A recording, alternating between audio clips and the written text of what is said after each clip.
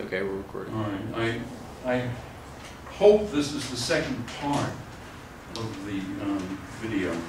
Anyway, let me get, let me erase this. So this is our rule, and the mean value of the vacuum, time order product, phi x phi y is minus i, the Feynman uh, propagator. And this is what we derived earlier in, in a path integral formulation. So we've um, sort of brought the two together. Now let me um, go back to what we were doing uh, with the electromagnetic field. Um, and we were talking about, we were quantizing it in the Coulomb gauge. And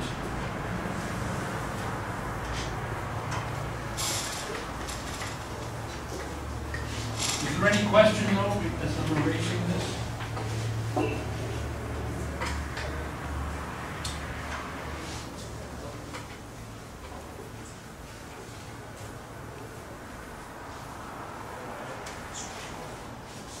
All right, let's see. All right, so what we did in the Coulomb gauge was we said, well, look at that chalk. See, some of this chalk is so much better than other pieces. This was one over root two, R of k, excuse me, one plus or minus I zero. And we introduced, um, we call this epsilon lambda. And um, we had the commutation relations A lambda of k, A lambda prime of k prime is delta lambda lambda prime delta cubed k minus k prime. And then we had A lambda of k, a lambda prime, oops, dagger, k prime equals zero, and the adjoint of that as well. Okay, now, so then we define the electromagnetic field, and let me um, put in an index this time. A i lambda of x is the sum over lambda equals plus or minus epsilon i lambda of k, a lambda of k, e to the i kx, plus epsilon lambda star phi of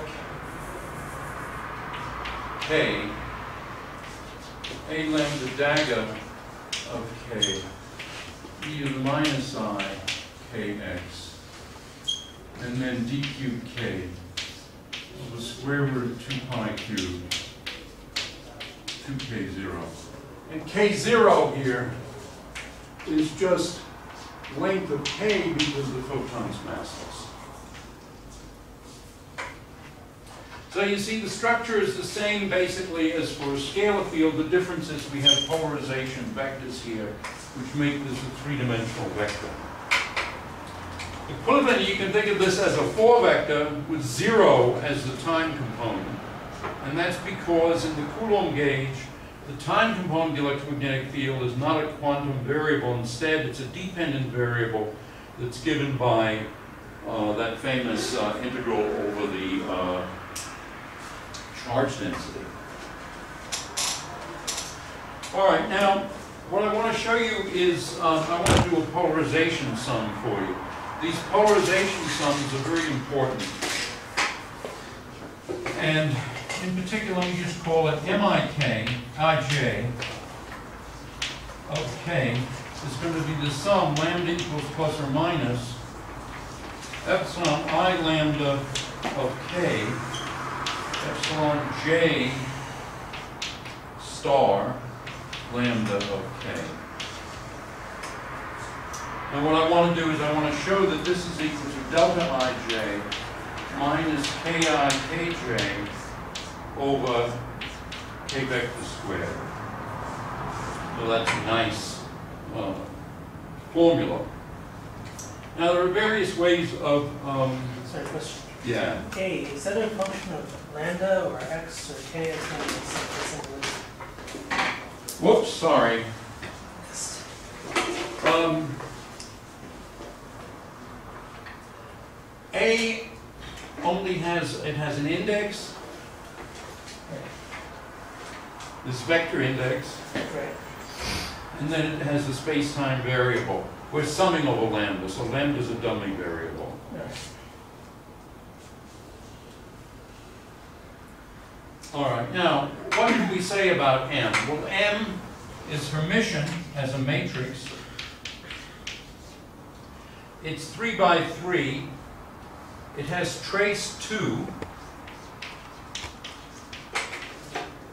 And we can say that M on the vector K is zero, and K transpose on M is zero. I think these are sufficient to determine exactly what M is, but let me show you what M is more directly by using our formulas for epsilon. I think this is um,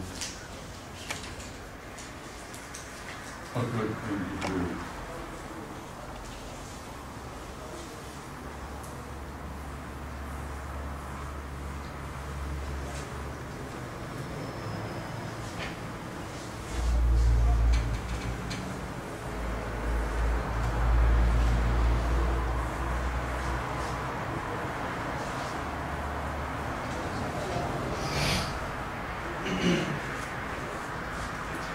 Um, Trying to find a of was nice one I had. Okay, so let me start over here. M.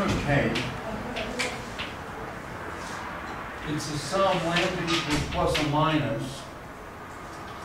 Epsilon, I'm using matrix notation now. Epsilon lambda K, epsilon lambda dagger is what I should have had in my notes. I had, can I use your pen a second?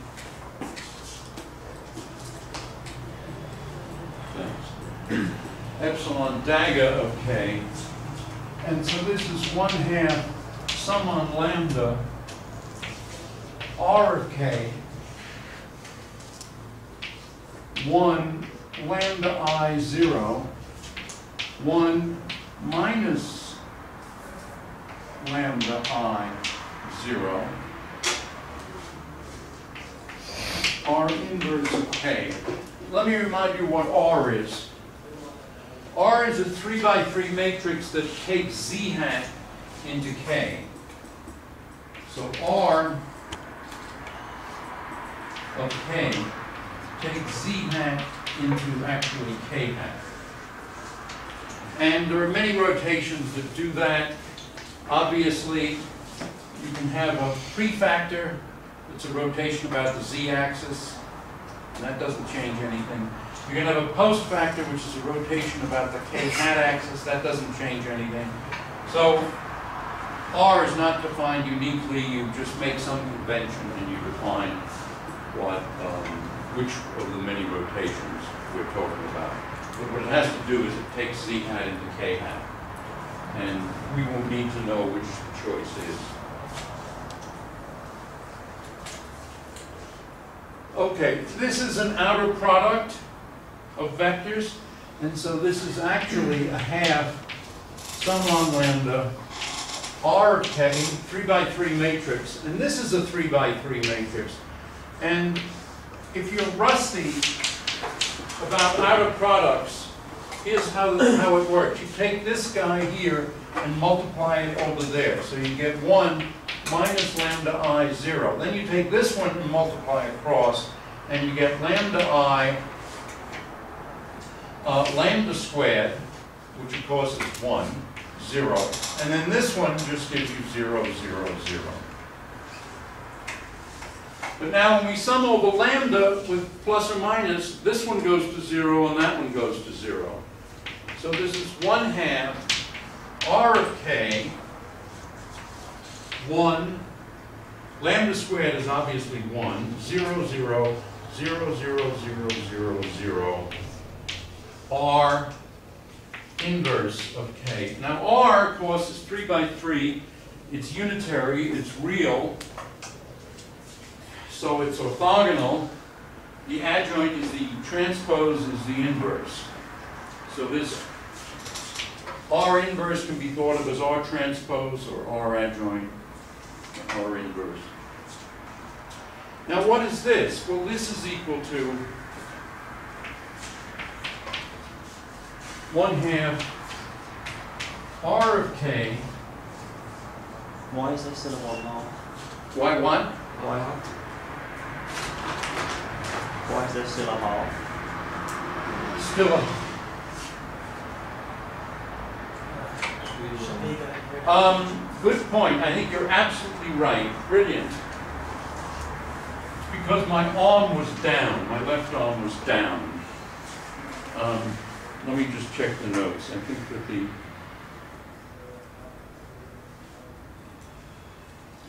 Right, the, the. There's no half.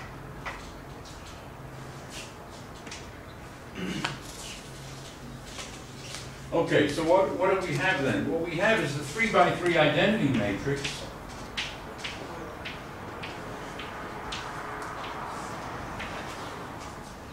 And then minus this piece. But this piece is minus z hat, z hat transpose.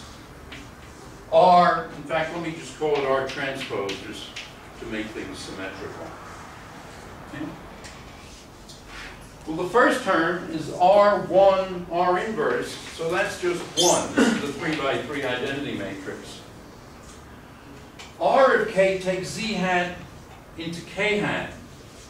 So this is minus K hat, K hat transpose. Okay?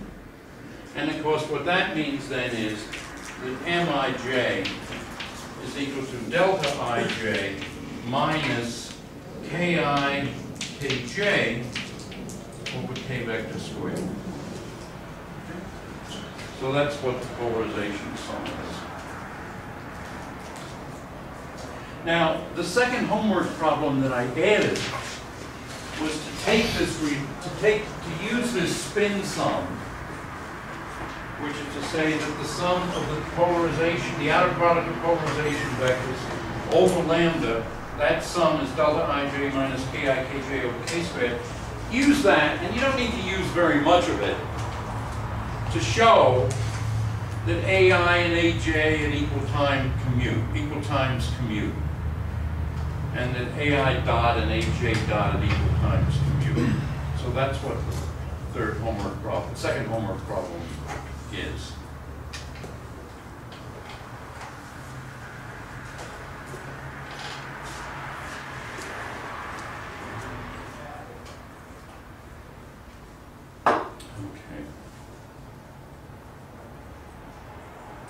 So what I want to try to do then is to show you that, um,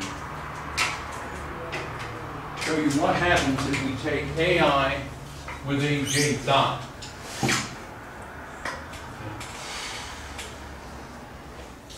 And, um,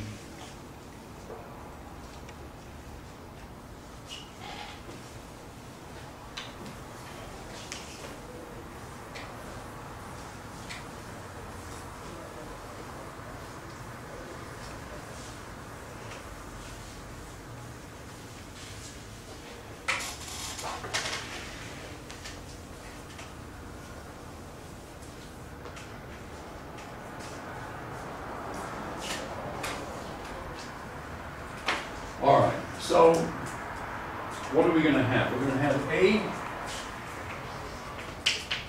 a i of x, a dot j of y, and I, let me specify these are equal time commutators. And, um, x is a three vector, y is a three vector. So what is this going to be? Well, it's going to be a sum of course over lambda integral cubed k over the square root two pi cubed, two k zero. And now, um, epsilon i lambda of k, a of k, the i kx. Um, plus epsilon lambda star i of k, a dagger of k, e to the minus i kx. So it's all that commutated with sum on lambda prime integral, let us say d cubed k prime, two pi cubed, two k prime zero, epsilon lambda prime j of k prime, but now there's a dot. There's also a minus sign in the metric. So let me write that as minus i k zero. That's what's pulled down by the time derivative.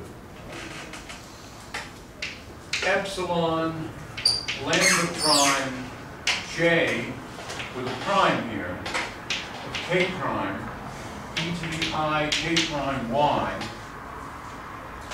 um, plus i k zero prime epsilon j star lambda prime of k prime e to the minus i k prime y. Okay, and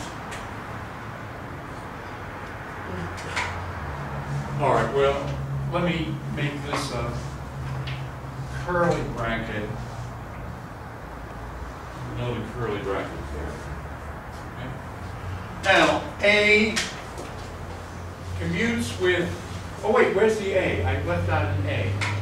This is all important. A lambda prime of K prime, and then in here, a dagger lambda prime of K prime. Okay, well, A of K commutes with this A of K, but not with this one. And so what we get as a commutator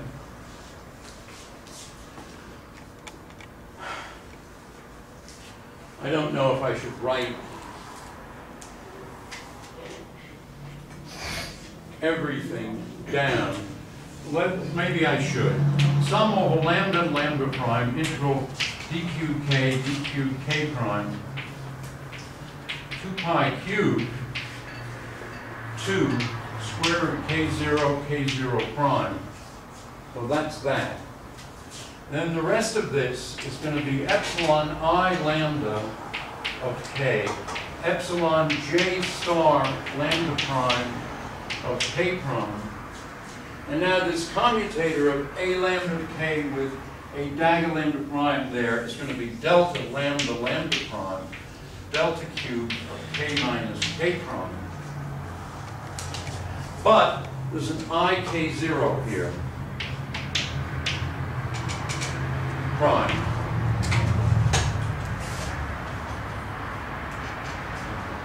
The next term is going to be a dagger with this A, and that's going to be plus epsilon star i lambda of k and it's going to be minus i k zero prime and then epsilon j lambda prime of k prime. And I left something out, an all-important phase factor. This thing is e to the i kx minus i k prime y. And this is going to be e to the minus i kx plus i k prime y. And the commutator here is a dagger A, so that's delta lambda lambda prime delta cube k minus k prime, but with a minus sign.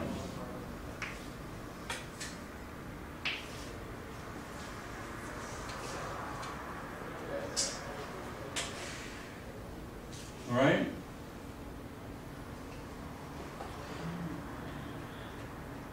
Since my left hand is down, you need to be checking me, all right? I didn't have time to LaTeX this. um. All right, now, as I've said, when you, as you work through your study of quantum field theory, you're gonna come to love Paul Dirac and his delta function. Because we've got a terrible six-dimensional integral, the delta function makes it a three-dimensional integral. Um, Um, I'm not sure if you said, what were the like terms, wh- where, what? The like terms? The what terms? The like terms, like epsilon and then the. Oh, epsilon well, that's because they would be the commutator of A lambda K with A lambda prime K prime, that's zero. Right.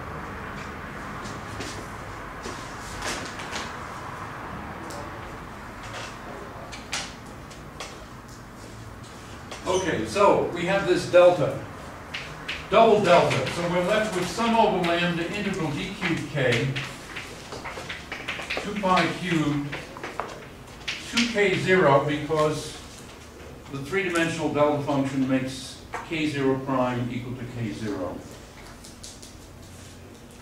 We then have here e to the i k, x minus y, and then we have epsilon i lambda of k, epsilon star j lambda of k. Uh, but then we then have an i k zero. And these minus signs cancel, so we get i k zero epsilon star i lambda of k epsilon j lambda of k e to the minus i k x minus y. So this is what we have. Now we see that things are turning out very nicely. Because you see the k zero here cancels this k zero. And Moreover, we've got epsilon star. We've got a sum over lambda of this thing. Well, the sum over lambda, we saw that the sum over lambda of these things is real. Since it's real, we can um, move the star over here, and we combine the two. So altogether, what we've got is sum over lambda, integral d cubed k, 2 pi cubed, e to the i k, x minus y, an i out in front. The 2 and the k0 have canceled, we have epsilon i lambda of k, epsilon star j lambda of k.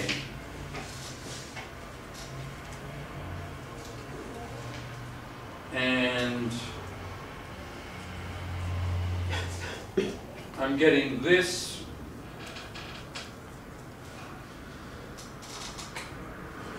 I'm getting this, hold on a second. Well, maybe I should write it this way, e to the i k x minus y plus e to the minus i k x minus y. So it looks like this. So should there still be one half in that case? Hmm? Should there still be one half in that case?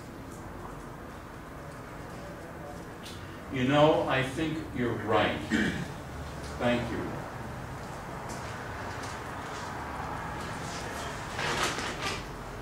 It's really worth two chocolates, but we've had so many, I'm worried about diabetes. Um, Sorry, what did you? By the way, there's a, should we use, all right, when I get to the end of this, I have, I have, some good stories. All right, the next thing is then I, now this sum over lambda is gonna, is quite nice. This is integral d cubed k over two pi cubed. um, one half e to the i k x minus y plus e to the minus i k x minus y. And then this thing is, I don't know if there's room to write it, but delta ij minus ki kj over k vector squared. In other words, it's this thing here, written small over there.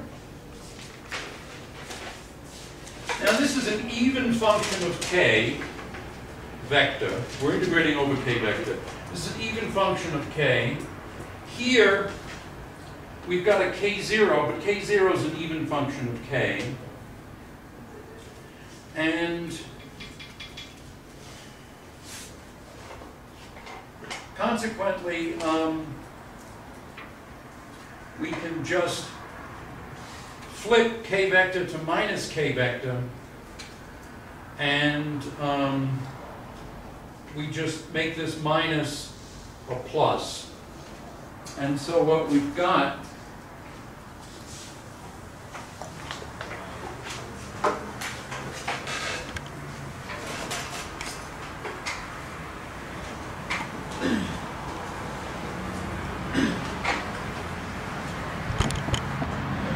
what we've got is a i of t of x, a dot j of t and y. By the way, since you can tell that what I'm doing today is very close to the second homework problem. Right? Oh, I haven't actually seen it. Huh? Haven't actually seen it. No, I told you what it was. Oh, Didn't I tell you what it was? The second homework problem is to show that AI commutes with AJ and that AI dot commutes with AJ dot. So now what do we have here? We've got an I integral d cubed k, 2 pi cubed, e the i k x minus y delta ij minus ki kj over k vector squared. All right, so this is i delta ij delta q of x minus y. Oh, I, what I forgot to say, I mean, I said it explicitly here, but you see, there's no, I was talking about a k0 term. There is no k0 term here because um, the times are equal. And so over here, it was even easier to flip x minus y to y minus x is because there isn't any k0. I should have mentioned that. So, how does that mean that we can just combine these into a single exponential? I mean, how is it that I could combine this with this and cancel your factor of two? Yeah, it's simply which become a cosine of k. All right, all right, all right, let me, let me, all right, we have an integral d cubed k e to the minus i, and it's just a k vector dot x minus y vector, okay? And then it's um, delta ij minus ki kj over k vector squared. Okay? All right. Now, what we're doing is we're, all right, let, let, let, let us just replace minus k, let us set minus k equal to p. And this is just a positive measure, so this is, goes into d cubed p. Then we get e to the ip x minus y, and now delta ij minus, minus pi minus pj over p squared, or minus p squared. But these minus signs cancel. So, because this thing is even, So I understand that bit. So it's pi pj over p squared. So you can combine, so this thing is the same as integral e to the i k x minus y uh, delta ij minus ki over k squared dqk. So these are the same, so I was able to set this equal to that and cancel the two. Okay, and I understand most group, but I don't understand how you're translating D three K into a non-negative D three P. You said something about the positivity, I didn't, Yeah. Frankly, I'm very sympathetic to your question because it puzzles me every time. Um. It, it, it was. All right, what is this integral? This is a sum of this thing over all points in k space. Okay? So in other words, we're summing it over k this way, k that way, k that way, k this way. Okay? So this thing is a, is a, an intrinsically positive measure, it's just the size of each cube in K space.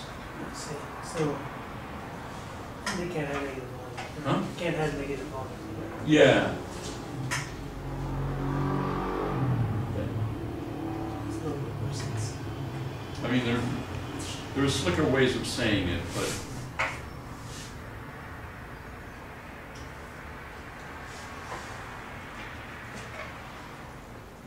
Okay, so we've got the first term. The next term, though, is a derivative.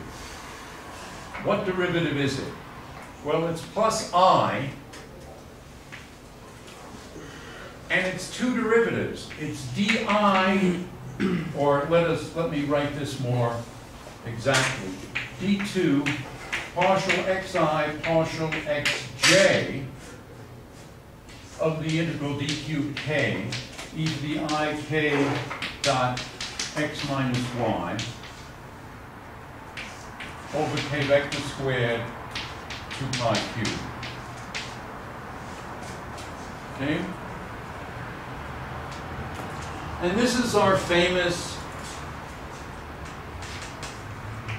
this is i delta ij delta cube x minus y plus i partial to partial xi partial xj of 1 over 4 pi x minus y. This is the Green's function for uh, what? Laplace's equation or Poisson's equation? One of the two. The French equation.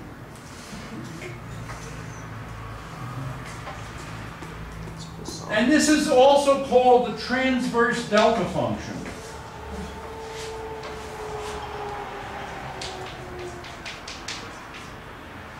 Transverse because apart from the ordinary delta function, we've got this screwy term involving the, uh,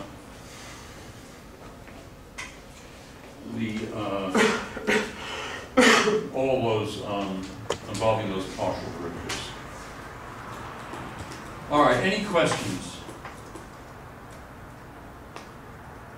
All right, once again, it's story time, and I've got several stories. I might have told you one or two of them.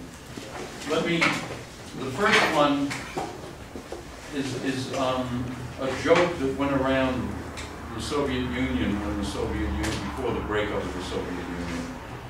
And it was um, about the difference between capitalism and communism. In capitalism, man explo- exploits man. In communism, it's the other way around. Okay, that was the first story. Um, there are two other stories. I remember one clearly, I- and the other one has slipped my mind.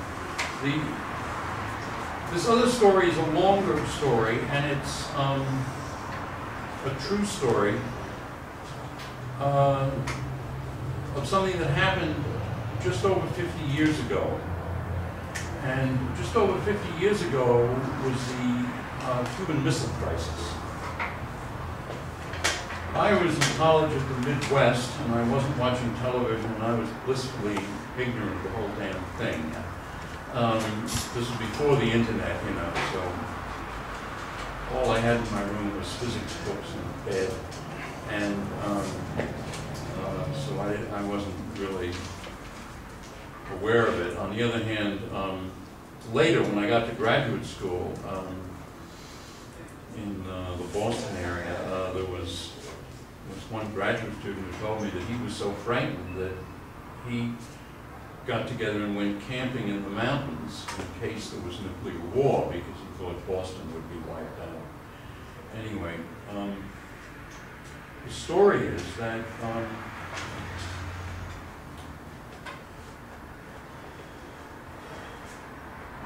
six months or so, or that the CIA, before the Cuban Missile Crisis, had been trying to kill Castro, Fidel Castro.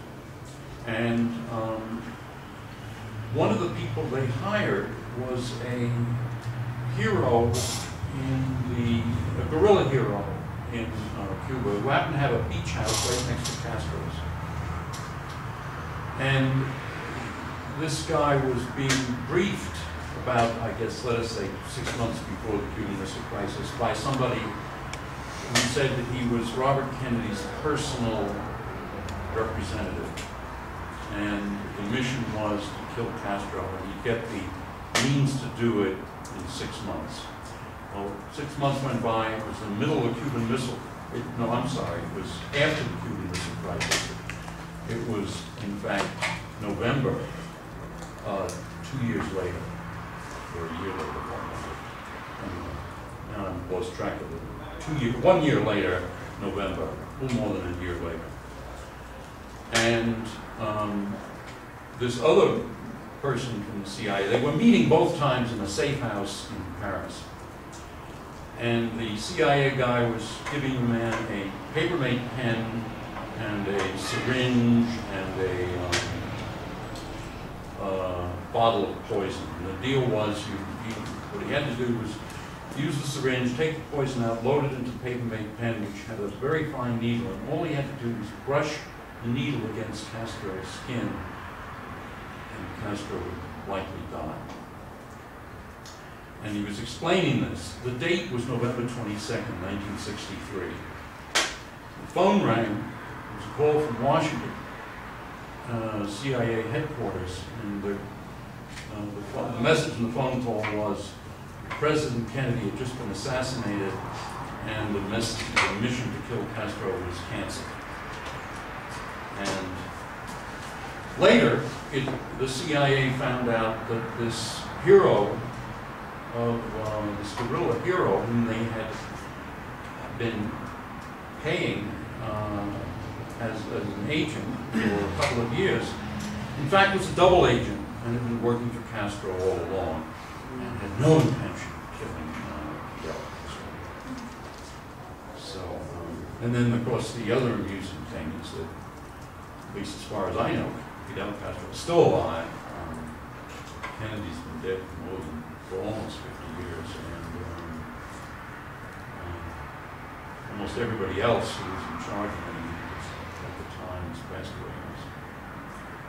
One of the lessons, by the way, of the Cuban Missile Crisis is how important communication was. Uh, President Kennedy was able to communicate with Premier Khrushchev by several channels because the United States and the Soviet Union had diplomatic relations, so they could talk to each other and step back from the brink of nuclear war. Um, well, the lesson from that is that we should have diplomatic relations with every country, and um, especially countries that we're concerned about, um, like Iran and North Korea. And so it's just stupid. Iran. Okay, so the end of the story. Um, stories. Um, so let's see, I can go in, well, let me go a little bit further in this, in this same direction. And done here is we've seen that um, what the commutator is of these, in fact, I can, I don't know if I can derive this or if if I can derive this in the time that remains, let me just perhaps give you the answer, I think it's.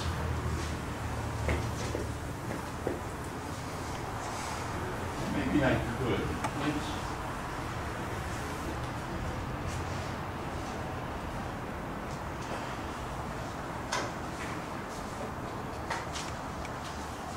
Let- All right, well, let me tell you what the result is, whether I can derive it on the fly and in the time remaining, I don't know. Minus I delta, and just because I'm copying this from uh, Weinberg's book, um, where he loves Greek letters, we're gonna have some Greek letters here.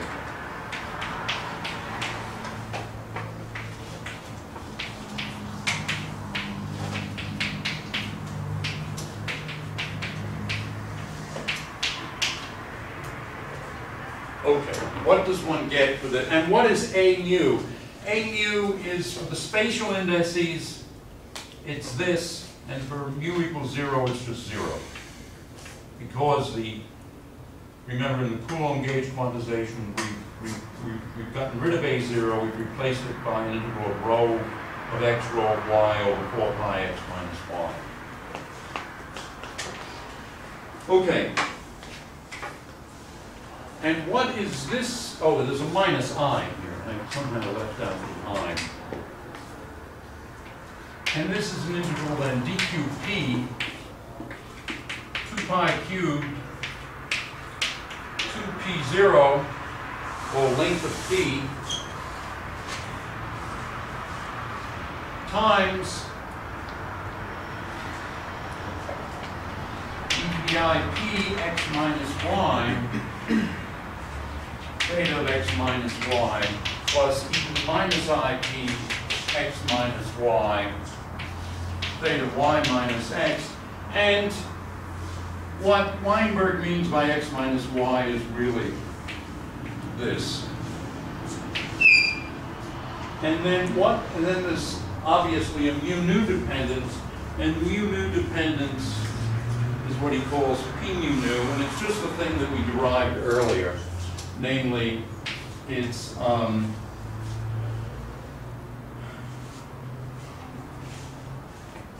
right. It, so that really, this is sort of a bit silly here. This is really ij. Let me, let me fix this up, because it's, it's a little bit, I think we're making things overly mysterious here. It's delta ij minus pi pj over p vector squared. That's what the actual um, formula is. And then, of course, if either of these were zeros, then you'd obviously have zero on the right-hand side. Because the time order product of zero times zero is zero, or the time order product of zero times aj is zero. So that um, is uh, the expression, and um,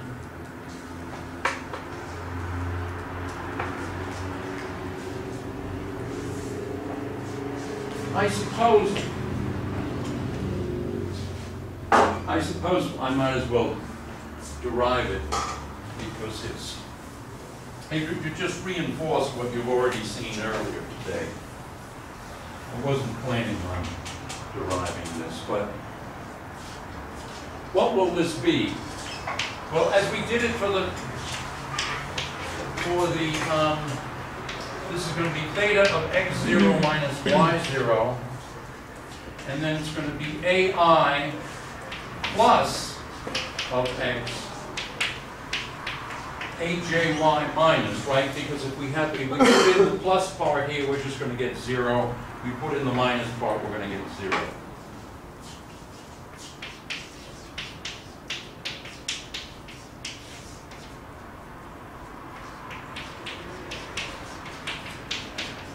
Remember, these are space indices, so whether they're up or down doesn't matter. And this again is plus, minus, vacuum. Now we can replace these two with commutators. Because that's not gonna change anything.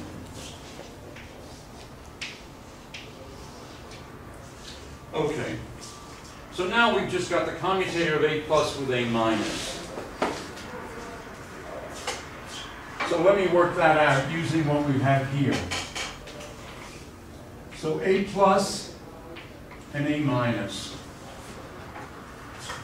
And what we're gonna have then is sum over lambda, blah, blah, blah. This is A plus, but we're not gonna have this. And what's A minus? Well, it's, let me, let me rewrite A minus here. Or to put it differently, we can put it all on one line here. This is gonna be A minus, so this is going to be epsilon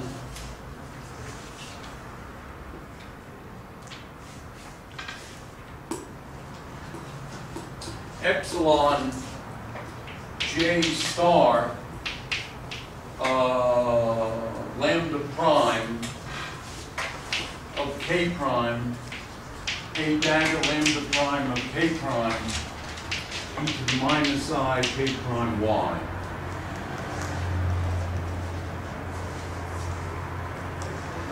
Okay? With the sum though, right?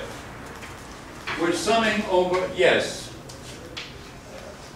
In, in the integral in k prime.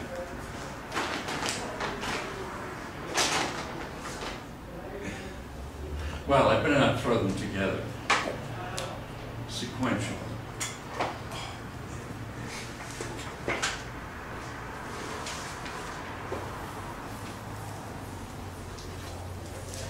By the way, that long story that I told you about the CIA, I heard this on what's called C-SPAN 3.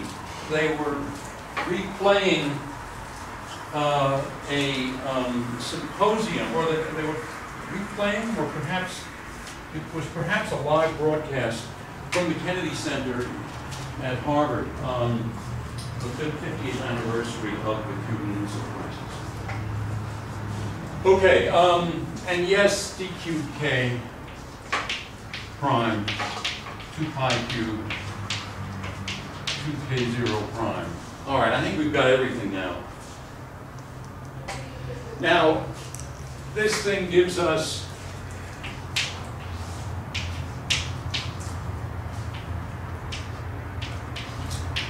the delta function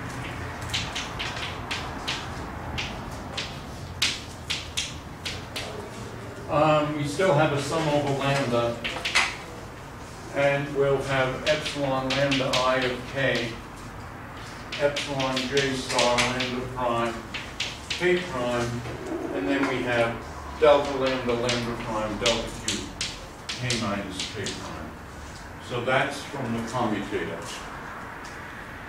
And then there's the factor e to the i kx minus i k prime y. Okay, well, the delta functions make everything so much nicer. We just get d cubed k, 2 pi cubed, 2k 0. And now we have sum over lambda, epsilon i lambda of k, epsilon j star lambda of k, uh, e to the i k x minus y. And now this sum, of course, is integral d cubed k over 2 pi cubed, 2k 0, and this sum is delta i j minus ki kj over k squared, and the base factor is e to i k x minus y. Okay. So now,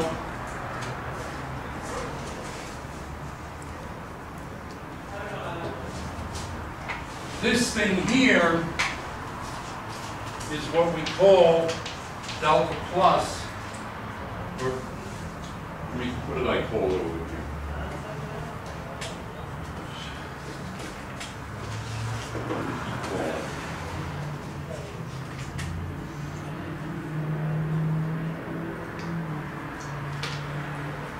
Well, it's we we we we clearly finished. I mean, we've got the.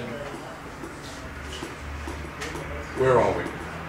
This thing is this thing, and so vacuum time away product AI AJ is then theta of x0 minus y0 And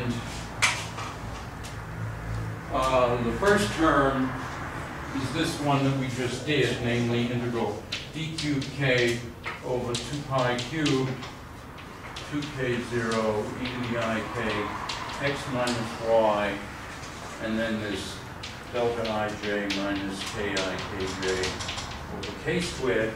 And now the next term is Well, it's obviously the same thing, but just with y and x interchanged, right?